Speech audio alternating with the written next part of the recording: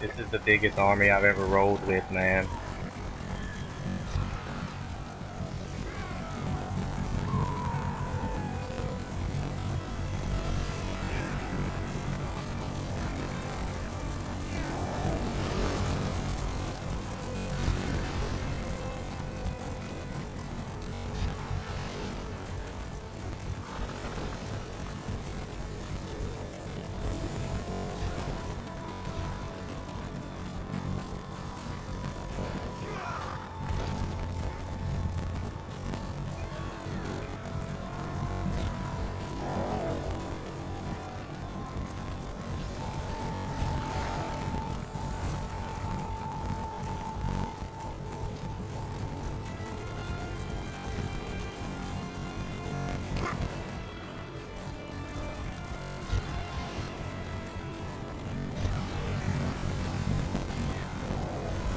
Mm.